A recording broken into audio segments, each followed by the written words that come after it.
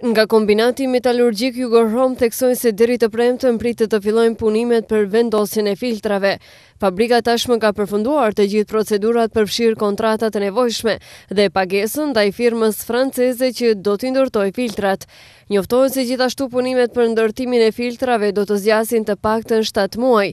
Ndërkaq, afati i fundit që caktoi qeveria për vendosjen e filtrave skadon më 31 tetor.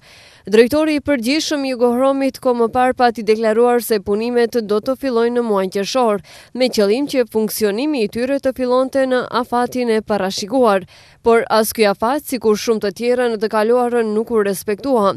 Nga ana tjetër, nga Ministria e Ekologjisë kanë njoftuar se do të ndjekin të gjitha fazat për realizimin e punimeve dhe kanë paralajmëruar edhe sanksione nëse nuk respektohen afatet e qeverisë për vendosjen e filtrave në kohë. Meqë disa herë janë shkelur afatet e ligjeve për vendosje të filtrave, banorët e Tetovës janë skeptikë se kombinati Jugohrom që njihet si ndotësi më i madh i rajonit të Pollogut, do të respektojë kushtet e qeverisë për përmbushjen e standardeve ekologjike.